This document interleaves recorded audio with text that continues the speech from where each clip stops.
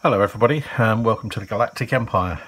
Uh, this is a quick demo of uh, my new BLTroniX E11 blaster board, uh, purely designed to make installation of electronics into blasters a lot easier. Um, this basically consists of the BLTroniX board. Um, this basically has um, all the resistors in place and you basically put on your uh, Arduino Nano, your PAM8403 amplifier, your DFPlayer with the SD card. Now I use JST connectors because it just makes life a lot easier uh, for connecting all the components. Uh, I use 18650 batteries to power my blasters. Um, WS2812B uh, NeoPixel strips. Now obviously this is a lot smaller uh, the barrel normally has about 25 LEDs in and I also use a single WS2812B LED for the fire LED. Uh, just makes life a lot easier. Um, a 0.91 inch uh, OLED screen. Uh, basically four buttons. You have your trigger fire button, you have your weapon select button, your reload button and your laser LED on and off switch. Uh, this is the red dot laser LED and also have a magazine detection switch. Now I use either a lever switch or a reed magnetic switch in the magazine so it detects whether it's in or out. You can have one or two speakers, uh, and as I say, they're all connected to the board. So basically this fits inside the barrel and then you just run your switches and your components to where they need to be with wires. So let's, these boards are not soldered in, they're just pushed into the holes. So bear with me if we get a loose connection, but let's reset. I normally put these... Please wait. Weapon systems initializing. Your BlasTech Industries weapon is now fully operational. I normally mount the, these components on headers purely and simply because it makes life a lot easier if uh, you get a problem with the board you can just swap it out really easily so basically, you've got the display on the screen. You saw the startup. Um, it's displaying that we're on the E11 blaster and we have an ammo count of 20. Counter goes down as you fire. I have no rapid fire. It's just all single shots. It won't do anything if you hold the button down. It's something I'm looking into trying to do. So zero, it's showing we're empty, empty ammo sound. All pretty much the same on all the weapons. Uh, to reload, hit the reload button. I have the reload button actually on the Hengstler where I have my little low LED screen. So change the weapon, now display stun blaster. Again, attack Bob a flame.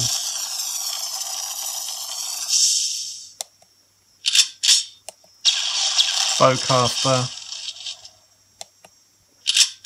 X-Wing. TIE Fighter.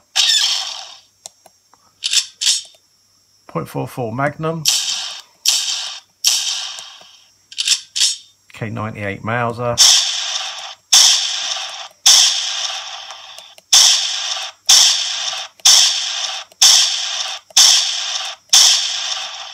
Again, shows empty. Different reload sound. Some have got different ones. So, Uzi machine gun counts down in five.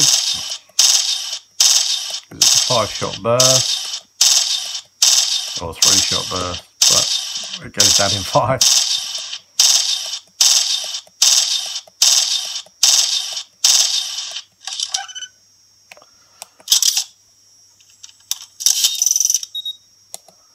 select again. Theme tracks or theme music uh, basically you can have any tracks that you want. Um, I think I've only got four on here but you can put more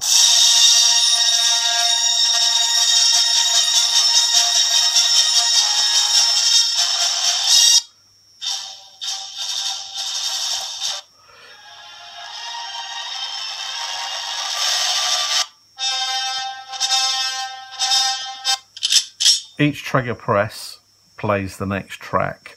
Uh, obviously, E11 Stormtrooper Blaster, so I've got Stormtrooper phrases. Again, plays them in sequence as they are on the SD card.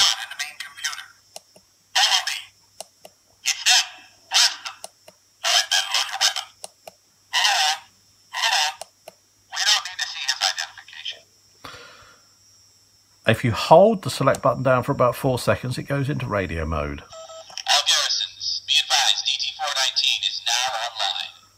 Quite a long loop. Um, basically, it's ideal for playing if you're out trooping or whatever.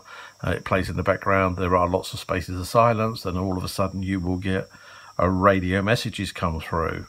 Uh, pushing any button will basically disable it. So if you go fire, that's it now off because we're on Stormtrooper phrases. Select again, and we're back to the 11 blaster. LED red dot laser sight. I mount these inside the scope. Um, Laser sight activated. there you go. Laser sight is activated Laser sight deactivated. and deactivated. Mag is inserted. Now, normally, as I say, I, I use a lever switch or a reed switch. Um, I'm not going to sit here and hold uh, a lever switch in, so I've got a latching switch on at the moment. But if I was to take like the magazine out and break the connection, you get a warning weapon error and it displays on the screen that you need to insert your clip. Insert the clip. You get a noise to say the clip's inserted and you're away.